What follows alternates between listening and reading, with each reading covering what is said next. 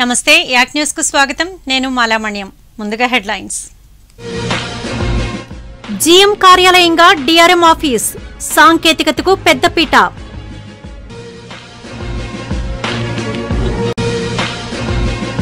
దసరాకు ప్రత్యేక బస్సులు.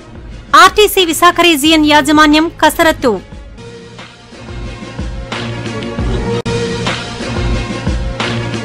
పిల్లలే దేశ భవిత. బీజేపీ మెడికల్ క్యాంపులో మాజీ ఎంపీ హరిబాబు. ఫలించిన యూజీడీ కార్మికుల పోరాటం బకాయి వేతనాల విడుదలకు జీవీఎంసీ అంగీకారం.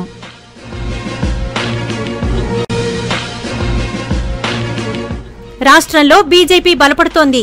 పార్టీ రాష్ట్ర అధ్యక్షుడు కన్నా లక్ష్మీనారాయణ. ఇక వార్తల వివరాలు చూద్దాం. విశాఖ కేంద్రంగా ఏర్పాటు కాబోతున్న కొత్త రైల్వే జోన్ను సాంకేతిక పరంగా అగ్రగామిగా నిలిపేందుకు అధికారులు కసరత్తు చేస్తున్నారు. ఇన్ఫర్మేషన్ టెక్నాలజీకి అనుగుణంగా అవసరమైన ఆఫీస్ టూల్స్ను కొత్త జోన్లో సమకూర్చాలని ఇప్పటికే అధికారులు డీపీఆర్లో స్పష్టం చేశారు. దేశంలో సౌత్ సెంట్రల్ రైల్వే ఐటీ పరంగా నెంబర్ వన్ స్థానంలో ఉంది. విశాఖ కేంద్రంగా ఏర్పాటు కానున్న దక్షిణ కోస్తా రైల్వే జోన్కు అంతకు మించిన సాంకేతికతను జోడించాలని ఉన్నతాధికారులు ప్రయత్నిస్తున్నారు. దొండపర్తిలో ఉన్న డీఆర్ఎం ఆఫీసును జీఎం కార్యాలయంగా అధికారులు డీపీఆర్లు పొందుపరిచారు. ఇందులో డిజిటల్ ఆ దిశగా ఉద్యోగులకు ప్రత్యేక శిక్షణ ఇవ్వాలని నిర్ణయించారు. నాన్ కోర్ అన్స్కిల్డ్ ఉద్యోగులను అవుట్ సోర్సింగ్ ద్వారా తీసుకోనున్నారు. కొత్త జోన్ కోసం south central railway east coast రైల్వేల నుంచి అధికారులను ఉద్యోగులను డివిజన్ పరిధి ఆధారంగా తీసుకోనున్నారు.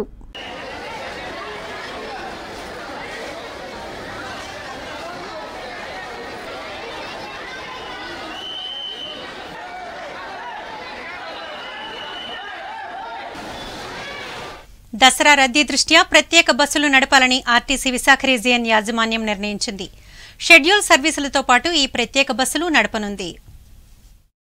దసరా ప్రయాణికుల రద్దీ దృష్ట్యా ఆర్టీసీ విశాఖ రీజియన్ యాజమాన్యం ఐదు వందల అరవై ప్రత్యేక బస్సులు నడపాలని నిర్ణయించింది.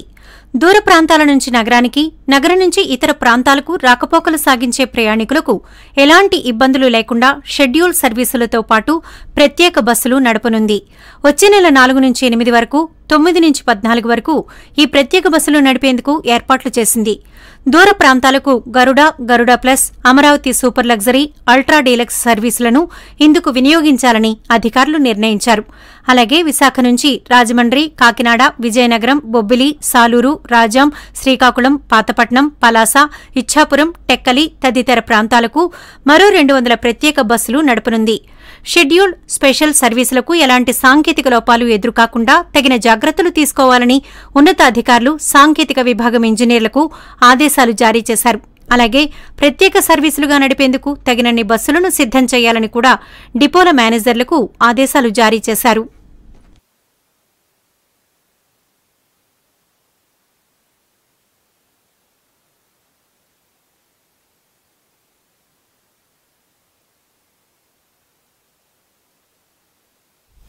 ప్రధాని నరేంద్ర మోడీ జన్మదినోత్సవాన్ని పురస్కరించుకుని నగర బీజేపీ దండుబజార్ ప్రాథమిక పాఠశాలలో ఉచిత ఈఎన్టీ శిబిరం నిర్వహించింది. మాజీ ఎంపీ కె హరిబాబు శిబిరాన్ని ప్రారంభించారు. ప్రధాని మోడీ జన్మదిన వేడుకలను పురస్కరించుకుని దేశవ్యాప్తంగా బీజేపీ శ్రేణులు సేవా సప్తాహ పేరిట పలు సేవా కార్యక్రమాలు నిర్వహిస్తున్నారు. అందులో భాగంగా దండుబజార్ ప్రాథమిక పాఠశాలలో ఏర్పాటు చేసిన ఉచిత ఈఎన్టీ శిబిరాన్ని హరిబాబు ముఖ్య అతిథిగా హాజరై ప్రారంభించారు. ప్రభుత్వ ఈఎన్టీ ఆసుపత్రి సూపరింటెండెంట్ డాక్టర్ కృష్ణకిషోర్ వైద్య బృందం చిన్నారులను పరీక్షించి మందులు పంపిణీ చేశారు. ఈ సందర్భంగా హరిబాబు బీజేపీ రాష్ట్ర కార్యవర్గ సభ్యురాలు రాజకుమారి మీడియాతో మాట్లాడారు. ప్రధాని మోడీ బర్త్డేను పురస్కరించుకుని సేవా సప్తాహ పేరిట నగరంలో వారం రోజుల పాటు నిర్వహించిన సేవా కార్యక్రమాలు శుక్రవారంతో ముగుస్తాయన్నారు.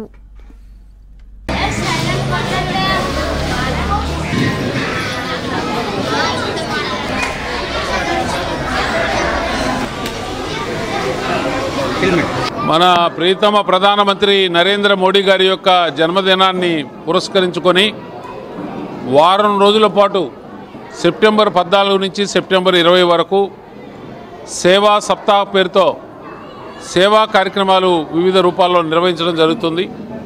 స్వచ్ఛ భారత్ కార్యక్రమం మొక్కలు నాటే కార్యక్రమం విద్యార్థులకు వైద్య పరీక్షలు దివ్యాంగులకు ఉపకర ఉపకరణాల పరి పంపిణీ అలాగే రక్తదాన శిబిరం ఇలాంటి మొక్కలు నాటే కార్యక్రమం లాంటి అనేక కార్యక్రమాలని నిర్వహించడం జరిగింది.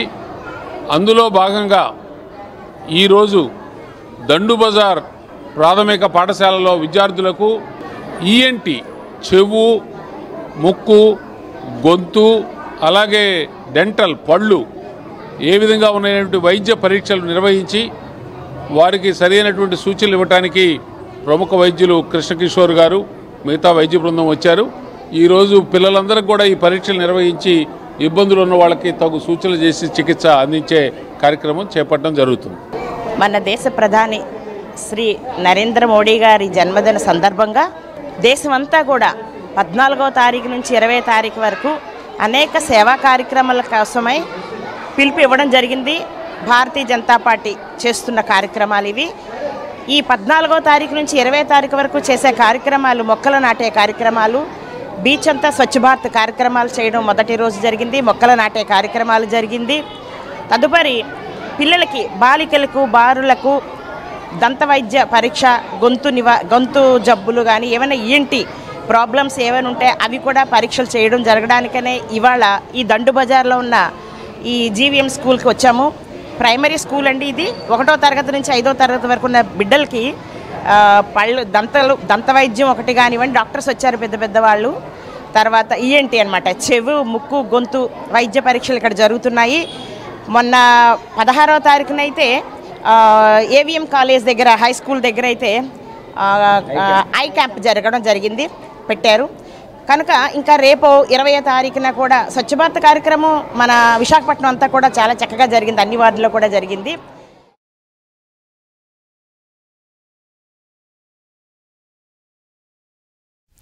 సిఐటియు అనుబంధ జీవీఎంసీ యూజీడీ కార్మికుల పదిహేను రోజుల పోరాటం ఫలించింది. ఈ సందర్భంగా వారు జీవీఎంసీ గాంధీ పార్క్లో విజయోత్సవ సమావేశం నిర్వహించుకున్నారు.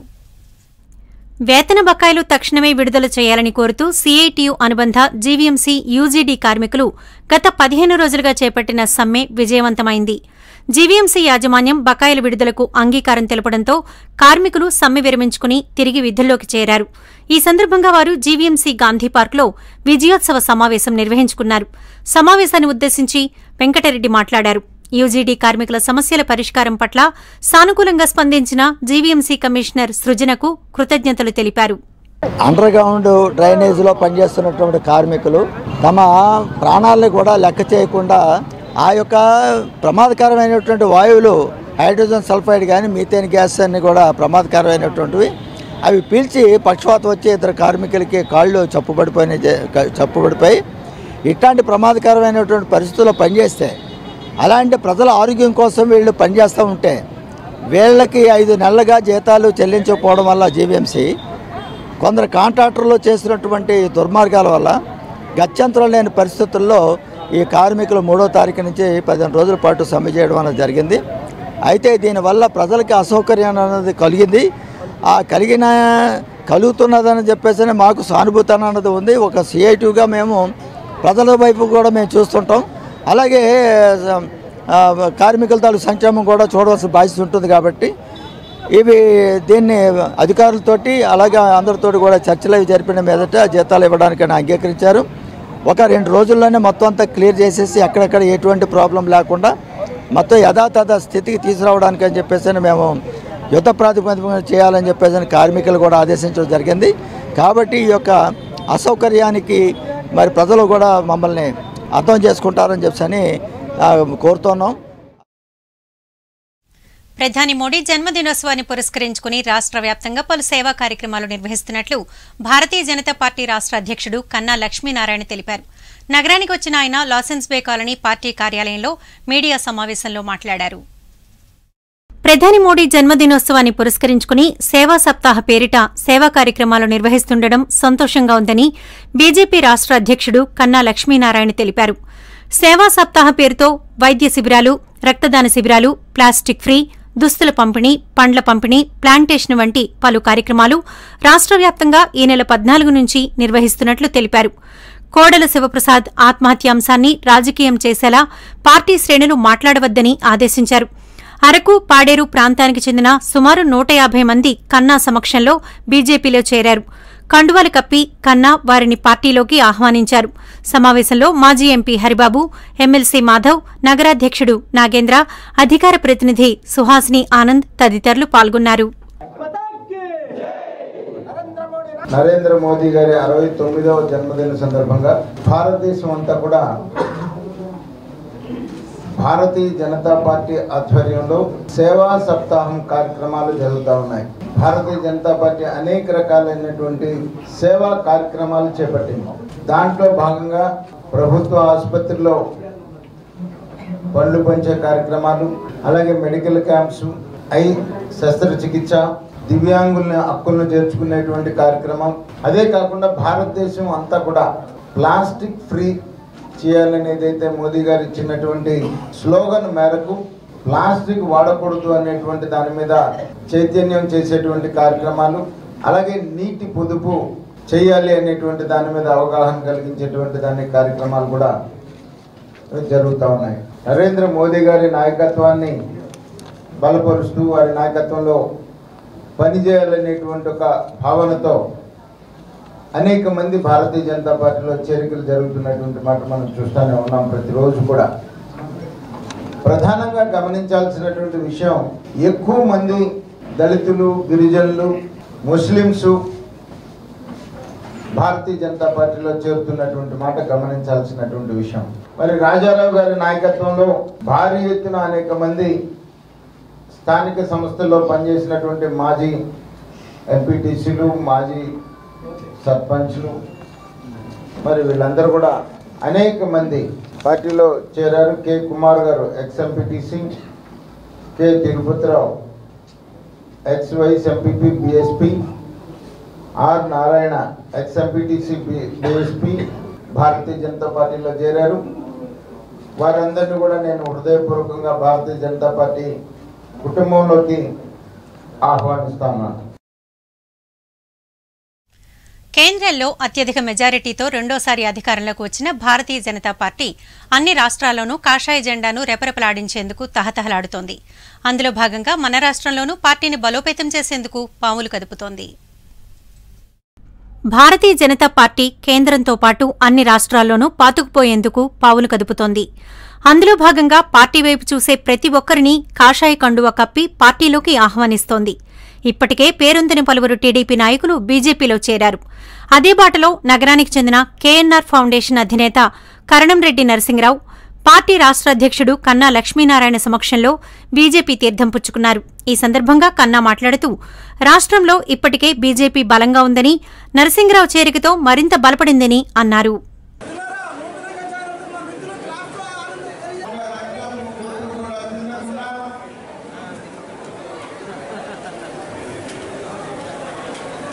భారతదేశం కూడా భారతీయ జనతా పార్టీ సేవా సప్తాహ కార్యక్రమాల పేరు మీద అనేక సేవా కార్యక్రమాలు చేస్తున్నాయి. ఆంధ్ర రాష్ట్రంలో ప్రతి మారుమూల ప్రాంతంలో కూడా భారతీయ జనతా పార్టీ కార్యకర్తలు అనేక సేవా కార్యక్రమాలు చేస్తూ ఉన్నారు. ప్రభుత్వ ఆసుపత్రుల్లో ఫుడ్స్ డిస్ట్రిబ్యూషన్ కానీ అలాగే అర్థం చేసుకునేటువంటి క్యాంప్స్ రన్ చేసే దాని పంచే దాని విషయంలోనైతేనేమి అలాగే ఓల్డ్ ఏజ్ హోమ్స్లో పెద్దలకి బట్టలు పంచేటువంటి కార్యక్రమాలు అయితేనేమి చెట్లు నాటేటువంటి కార్యక్రమాలు అయితేనేమి అలాగే భారతదేశాన్ని ప్లాస్టిక్ ఫ్రీ చేయాలనేటువంటి సంకల్పంతో మరి ప్రజల్ని చేసే కార్యక్రమం అయితేనేమి అలాగే మరి ప్రతి నీటి చుక్కని మరి సేవ్ చేయాలనేటువంటి ఒక ఉద్దేశంతో వాటర్ మేనేజ్మెంట్ విషయంలో చైతన్యం చేసే దాని విషయంలో ఈ రకంగా అనేక కార్యక్రమాలు భారతీయ జనతా పార్టీ చేపట్టిన రోజున దీంట్లో భాగంగా ఈ కార్యక్రమాల సందర్భంగా ఎక్కడికి వెళ్ళినా కూడా భారతీయ జనతా పార్టీలో చేరికలు జరుగుతూ ఉన్నాయి. వివిధ పార్టీల నుండి కూడా ఈ రాష్ట్రంలో ఉన్న పెందుర్తి చినముషిడివాడలో కొలువై ఉన్న శ్రీ మహాకామేశ్వరి అమ్మవారిని పంపాక్షేత్ర హంపీపీఠం ప్రతినిధి స్వామి గోవిందానంద సరస్వతి దర్శించుకున్నారు. వారికి ఆలయ ధర్మకర్తలు అర్చకులు పూర్ణ కుంభంతో స్వాగతం పలికారు. పంపాక్షేత్ర హంపీపీఠం ప్రతినిధి స్వామి గోవిందానంద సరస్వతి పెందుర్తి చెనముషిడివాడ శ్రీ మహాకామేశ్వరి అమ్మవారిని దర్శించుకున్నారు. అంతరాలయంలో అమ్మవారికి అష్టోత్తర శతనామార్చన జరిపించారు. ఆలయ ప్రాంగణాన్ని పర్యవేక్షించి అర్చకులకు కమిటీ వారికి పలు సూచనలు చేశారు. ఈ సందర్భంగా ఆయన మీడియాతో మాట్లాడారు. దేవతా పూజా విధానాలు పూర్వీకులు మనకు అందించిన గొప్ప వరాలని పేర్కొన్నారు.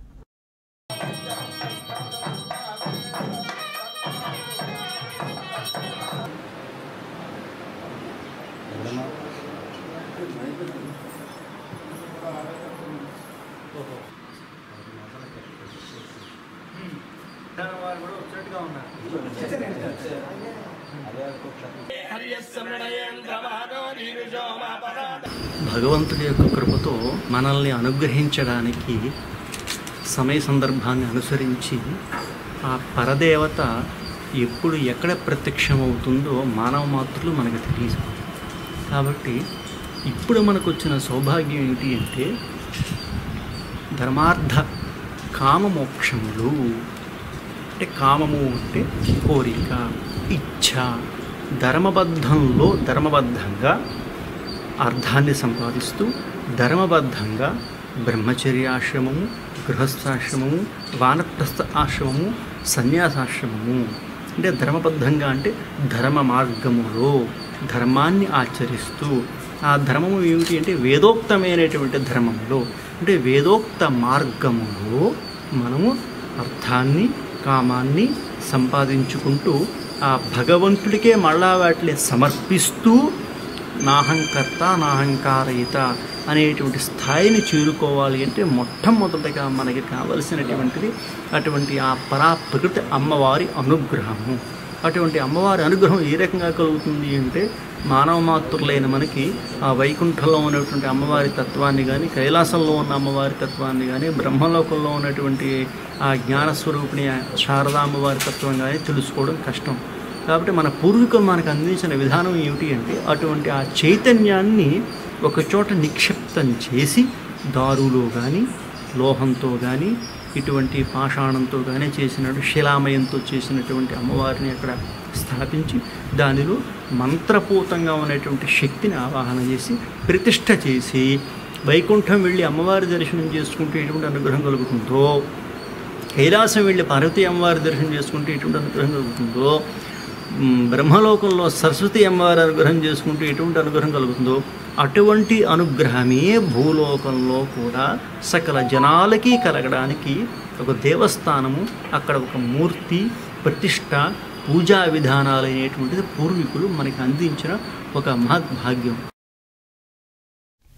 శంఖారావం కల్చరల్ వెల్ఫేర్ అసోసియేషన్ పద్దెనిమిదవ వార్షికోత్సవం ఈ నెల ఇరవై రెండున శివాజీపాలెం సవేరా ఫంక్షన్ హాల్లో జరగనుంది. సంబంధిత గోడపత్రిక ఆవిష్కరణ డాబా గార్డెన్స్ విజేఎఫ్ ప్రెస్ క్లబ్లో జరిగింది. శంఖారావం పద్దెనిమిదవ వార్షికోత్సవాన్ని పురస్కరించుకుని ఈ నెల ఇరవై రెండున సవేరా ఫంక్షన్ హాల్లో చిత్రలేఖనం ఫ్యాన్సీ డ్రెస్ పోటీలు నిర్వహిస్తున్నట్లు అసోసియేషన్ అధ్యక్షుడు బి. సత్యనారాయణ తెలిపారు. డాబా గార్డెన్స్ విజేఎఫ్ ప్రెస్ క్లబ్లో ఆయన మీడియా సమావేశంలో మాట్లాడారు. విద్యార్థుల్లో సృజనాత్మకతను వెలికితీసేందుకు ఈ పోటీలు నిర్వహిస్తున్నట్లు తెలిపారు. సబ్ జూనియర్ జూనియర్ సీనియర్ కేటగిరీలో ఈ పోటీలు జరుగుతాయని చెప్పారు. మా Sankaram cultural and welfare association పద్దెనిమిదవ వార్షికోత్సవం సందర్భంగా ఈ నెల ఇరవై రెండవ తారీఖు ఆదివారం వివిధ కార్యక్రమాలు మరియు పోటీలు నిర్వహిస్తున్నాము. దీనిలో సందర్భంగా పదిహేను సంవత్సరాల లోపు బాలబాలికలకు ఉదయం తొమ్మిది గంటలకు డ్రాయింగ్ కాంపిటీషను మధ్యాహ్నం మూడు గంటలకి ఫ్యాన్సీ డ్రెస్ కాంపిటీషను కండక్ట్ చేస్తున్నాం. ఈ కార్యక్రమాలు శివాజీపాలెంలో ఉన్న ఉమెన్స్ ఇంజనీరింగ్ కాలేజ్ ఆపోజిట్లో ఉన్న సవేరా ఫంక్షన్ హాల్లో జరుగుతున్నాయి. అలాగే ఈ సంవత్సరం టెన్త్ క్లాస్లో అత్యధిక మార్కులు తీసుకొచ్చిన పది మంది మున్సిపల్ కార్పొరేషన్లో చదివిన విద్యార్థులకు వెయ్యి రూపాయల నగదు బహుమతి వారికి ఒక జ్ఞాపిక ఇవ్వడం జరుగుతుంది. బహుమతులు అదే రోజు సాయంకాలం ఆరు గంటల తర్వాత అదే వేదికలో ఇవ్వడం జరుగుతుంది. ఈ బహుమతి ప్రధానోత్సవానికి మన పార్లమెంట్ సభ్యులు ఎంవివి సత్యనారాయణ గారు అలాగే బిఎంఆర్డిఏ చైర్మన్ ద్రోణరావు శ్రీనివాసరావు గారు వంశీకృష్ణ శ్రీనివాసరావు గారు బైడా కృష్ణప్రసాద్ గారు కేకే రాజు గారు ప్రముఖ టెన్నిస్ కోచ్ శ్రీ కోండ్రు బాబ్జీ గారు అలాగే దువ్వి గోవిందరావు గారు ఆ, గొలగాని శ్రీనివాసరావు గారు తదితరులు హాజరవుతున్నారు. కాబట్టి నగరంలో ఉన్న బాలబాలికలందరూ ఈ కార్యక్రమాన్ని వినియోగించుకోవాల్సిందిగా కోరుతున్నాం. వినియోగదారుల హక్కుల కోసం కన్జ్యూమర్ రైట్స్ ఆర్గనైజేషన్ పలు రకాల పోరాటాలు నిర్వహిస్తూ వస్తోంది. అందులో భాగంగా వచ్చే నెల రెండు నుంచి షాపింగ్ మాల్స్ సినిమా హాళ్ళ వద్ద పార్కింగ్ ఫీజులు వసూలు చేయరాదంటూ ఉద్యమించనుంది. సినిమా హాళ్ళు షాపింగ్ మాల్స్ వద్ద వాహనాలకు పార్కింగ్ ఫీజు వసూలు చేయరాదని పంతొమ్మిది వందల ఎనభై ఏడులో రాష్ట్ర ప్రభుత్వం ఒక చట్టం చేసింది. అయితే దీన్ని షాపింగ్ మాల్స్ థియేటర్ల యాజమాన్యాలు అమలు చేయడం లేదు. దీనిపై కన్జ్యూమర్ రైట్స్ ఆర్గనైజేషన్ వచ్చే నెల రెండు నుంచి ఉద్యమించనుంది. ఆ వివరాలను సీఆర్ఓ అధ్యక్షుడు వికాస్ పాండే పీజేఎఫ్ ప్రెస్ క్లబ్లో మీడియాకు తెలిపారు. మన ఆంధ్రప్రదేశ్ స్టేట్లో ప్రతి చోట షాపింగ్ మాల్స్ కానీ సినిమా థియేటర్స్ కానీ పార్కింగ్ ఫీస్ వసూలు చేస్తున్నారు.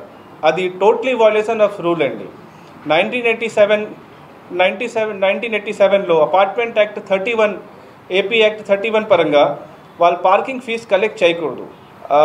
ఆంధ్రప్రదేశ్ ఆంధ్రప్రదేశ్ హైకోర్టు తరపు నుంచి కూడా టూ థౌజండ్ త్రీలో జడ్జ్మెంట్ వచ్చింది. పార్కింగ్ ఖచ్చితంగా షాపింగ్ మాల్స్ కానీ థియేటర్స్ కానీ ఫ్రీగా ప్రొవైడ్ చేయాలి. బట్ ప్రొవైడ్ చేయడం జరగట్లేదు. దీనిపైనే ఫర్వరి మంత్లో కూడా సెవెన్ మంత్స్ బ్యాక్ కూడా మనం సర్వే చేసి ఆల్ ఓవర్ ఆంధ్రప్రదేశ్లో విశాఖపట్నంలో కూడా సర్వే జరిగింది. ఇక్కడ సర్వే చేసి జాయింట్ కలెక్టర్ గారికి కలెక్టర్ గారికి అండ్ జీవీఎన్సీ కమిషనర్ గారికి మెమొరెండంతో పాటు డిమాండ్ లిస్ట్ ఇవ్వడం జరిగింది. బట్ దానిపైనే వాళ్ళు ఏదైనా అవగాహన తీసుకోలేదు ఏం వర్క్ చేయలేదు. మళ్ళీ మొన్న ఆదివారం సిటీ టీం ఆధ్వర్యంలో కంప్లీట్ విశాఖపట్నం జిల్లాలో మన సర్వే చేయడం జరిగింది. ఇప్పుడు కూడా ప్రతి అపార్ట్ ప్రతి షాపింగ్ మాల్స్ కానీ సినిమా థియేటర్స్ వాళ్ళు కానీ డబ్బు కలెక్ట్ చేస్తున్నారు. వాళ్ళతో డిస్కస్ చేసినప్పుడు వాళ్ళు కూడా అక్సెప్ట్ చేస్తున్నారు. ఈ పార్కింగ్ మనం ఫ్రీగా ఇవ్వాలి. వాళ్ళు ఏం చేస్తున్నారంటే మనం వెళ్ళినప్పుడు ఒక టూ అవర్స్ కానీ త్రీ అవర్స్ కానీ పార్కింగ్ డబ్బు వసూలు చేయడం ఆపేస్తున్నారు. మళ్ళీ టూ త్రీ అవర్స్ తర్వాత సేమ్ రూటీన్ స్టార్ట్ అయిపోతుంది. సో ఈరోజు ప్రెస్ మీటింగ్ కండక్ట్ చేసి మీ అందరూ ద్వారా ఒక స్ట్రాంగ్ మెసేజ్ మన గవర్నమెంట్కి గవర్నమెంట్తో పాటు బిజినెస్ కమ్యూనిటీస్కి బిజినెస్ మాఫియాగా తయారు అవ్వకూడదు. మన అనుకొని సేమ్ టైంలో దీనికి copy chief secretary government of Andhra Pradesh కూడా ఇవ్వడం జరుగుతుంది అండి. ఇప్పుడు కూడా వాళ్ళు స్టాప్ చేయలేకపోతే వచ్చే నెల అక్టోబర్ మంత్ నుంచి ఖచ్చితంగా గాంధీ జయంతి రోజు నుంచి మన ప్రొటెస్ట్ చేయడానికి స్టార్ట్ చేస్తాను. మొత్తం ఎస్టేట్ వైపు అండి. ముప్పై మూడవ వార్డులో వైసీపీ నాయకుడు కె. గోపాల్ రెడ్డి సామూహిక సీమంతాలు నిర్వహించారు. పార్టీ వార్డు అధ్యక్షుడు డి. శ్రీనివాసరెడ్డి ఆళ్ళ శ్రీను ఈశ్వర్ రెడ్డి తదితరులు పాల్గొన్న ఈ కార్యక్రమాన్ని ఉద్దేశించి గోపాల్ రెడ్డి మాట్లాడారు. ముఖ్యమంత్రి జగన్మోహన్ రెడ్డి రాష్ట్ర ప్రజలకు అందిస్తున్న సంక్షేమ పథకాలను స్ఫూర్తిగా తీసుకుని వార్డులో సేవా కార్యక్రమాలు నిర్వహిస్తున్నట్లు తెలిపారు.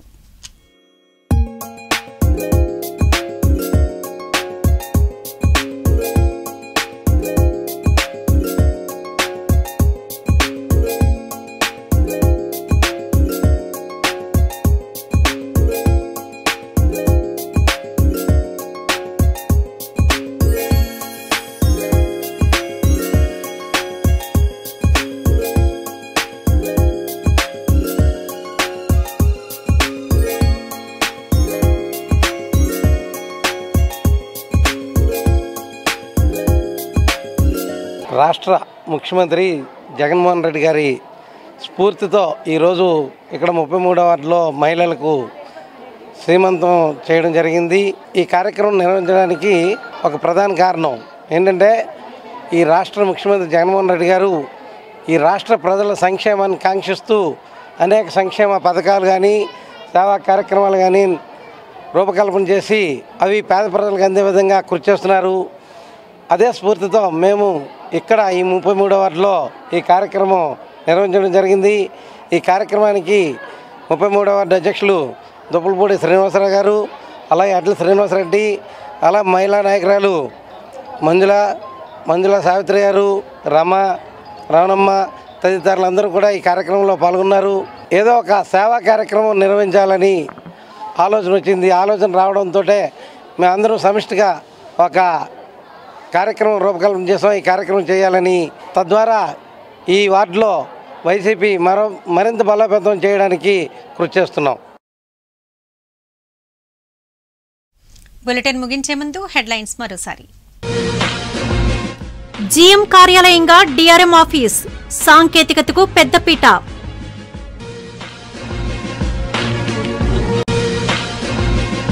దసరాకు ప్రత్యేక బస్సులు ఆర్టీసీ విశాఖ రీజియన్ యాజమాన్యం కసరత్తు.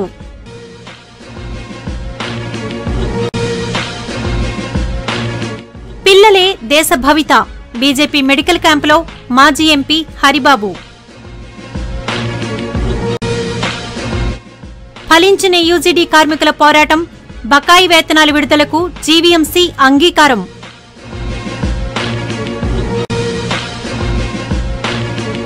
రాష్ట్రంలో బీజేపీ బలపడుతోంది. పార్టీ రాష్ట్ర అధ్యక్షుడు కన్నా లక్ష్మీనారాయణ. యాక్ న్యూస్ ఇంతటితో సమాప్తం. నమస్తే.